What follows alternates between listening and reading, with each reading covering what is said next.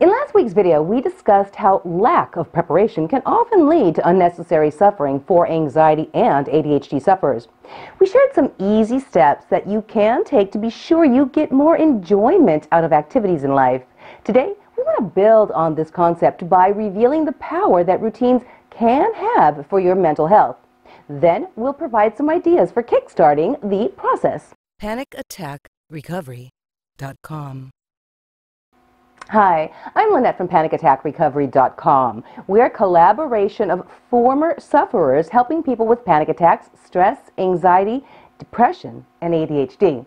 As mentioned, today we'd like to discuss how you can unleash the power of routines for your mental health. Simply put, routines can help with your anxiety and ADHD. The real trick is to engage in routines that are the opposite of anxiety and carry them out on a daily basis. Sound simple? Well, it is, but it's also effective. Here's why. Michael McCullough, a professor of psychology at the University of Miami, says the following about the power of routines. Whenever you engage in routines that involve the repeated exercise of mental muscles for controlling impulses, appetites, or behavior, this can lead to the building of self regulatory capacities in your attention appetites, and behavior in general. Routines are like mental butlers, says McCullough. Once you have a routine in place, then the mental processes that make the behavior happen take place automatically. We've done videos on relaxation routines such as the following progressive muscle relaxation, self hypnosis, mindfulness, breathing exercises, using music for anxiety, and much more.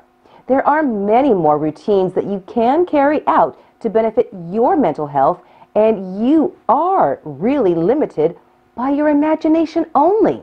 As long as you have a healthy behavior that provides a sense of well being, you don't have to worry so much about the exact routine. The trick is really to execute the routine on a regular basis. We hope that you've enjoyed this video and look forward to presenting another one next week. To make sure that you don't miss out on any of our content, please click the card on the upper right corner of this video and subscribe to our free newsletter. PanicAttackRecovery.com